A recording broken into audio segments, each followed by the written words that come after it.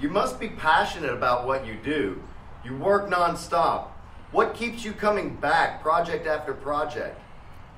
Again, I think uh, what makes me really into making movies is the passion. Because, you know, I uh, was an educated uh, civil engineer from USC, graduated.